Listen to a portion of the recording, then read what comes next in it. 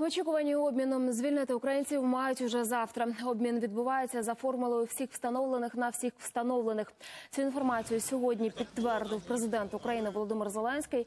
Втім, зазначив, що верифікація осіб у списках триває і досі. Про взаємне звільнення до кінця року сторони домовилися 23 грудня в рамках тристоронньої контактної групи.